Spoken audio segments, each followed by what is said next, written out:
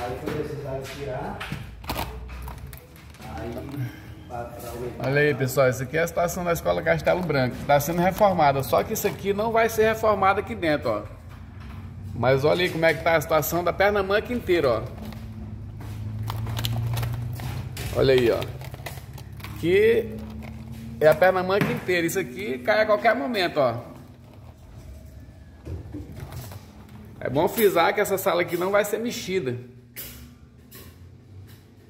A reforma é tudo isso aqui só. Lá fora, aquele remendo ali com tábua branca. Isso aqui nós estamos dentro da sala de aula. Para onde a gente se vira aqui é buraco.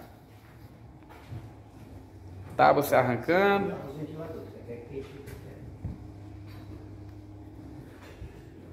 Dois ventiladores